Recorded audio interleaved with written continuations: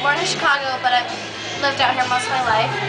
And I was raised Mormon, but don't know how much I believe about that bullshit.